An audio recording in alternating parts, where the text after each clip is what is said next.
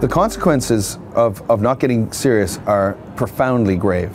If you just take the, um, the S&P 500 as, a, as an example, uh, the metabolic rate of change of companies on the S&P 500 is accelerating.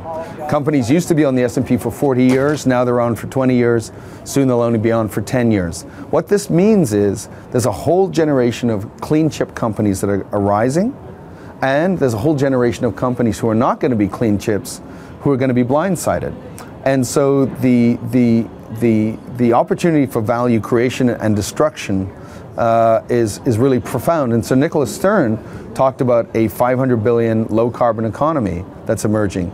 We now see in countries like Germany, 15% of their GDP is going to be based on the emerging green economy. Um, this is a huge, uh, it, it is the largest shift economically that we've ever seen in human civilization. And if we don't grasp that in Canada, uh, it's to our profound loss. The biggest legislation we've had in Ontario, of course, is the uh, Green Economy Act. And uh, that's a step in the right direction in two, two ways. One, it signals the, the priority that the, uh, the provincial government is giving to moving into a new energy paradigm. Uh, and secondly, it uh, provides a way to uh, uh, ensure that the playing field is more level for alternative energy. what we haven't done really yet is move this into a broader um, a clean economy paradigm though we're starting to look at this in water, we're starting to look at this in terms of mobility. Um, and now we've got to realize that um, we're creating a market, but are we creating a market for foreign companies or Canadian companies? And will we develop the indigenous innovation, which is where MaRS comes in? Well, I like to see the Green Energy Act within a broader shift towards sustainable development and, uh, and a green economy. So uh, we make a lot of different things. We consume a lot of different things in Ontario. Everything has to be green. Uh, it's not about developing green jobs, it's about greening every job. Uh, and any job that is not green will ultimately not be a job. Uh, now, whether that's going to happen over 5, 10, or 20 years is really the debate. But the debate is not whether we can have a job that's not green. So uh, we have to suffuse across the economy this message, and we have to provide the the uh, the uh, the incentives to people uh, to do the right thing. Because right now, 80, 90 percent of everything we do is really geared not to do the right thing, uh, and not to do the right thing both in terms of how do you create jobs and wealth, but also how you you're, you're part of the uh, the solution uh, to a challenge that affects us in Ontario and the world. And the key the key point here is that these problems are going to be solved uh, the real question is do we get the jobs and the wealth that come with being part of the solution?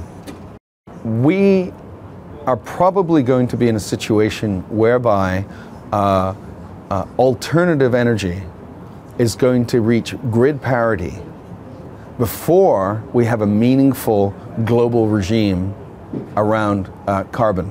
In other words, uh, we may not even need government to intervene here price signals are going to kick in, technology is going to kick in, uh, consumer uh, values are going to kick in, uh, not just here in Ontario, but more broadly around the world.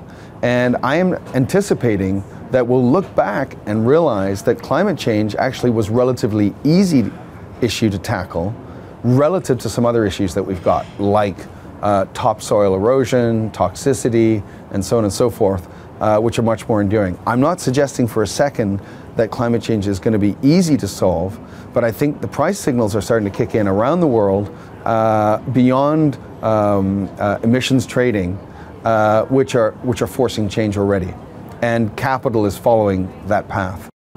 Any business that is in, that is purely taking a defensive position around climate change is not grasping uh, uh, that climate change is actually a source of opportunity. Uh, a McKinsey survey said that two thirds of all corporate executives saw climate change as, a, as an opportunity to enhance their profitability. We don't grasp that in Canada.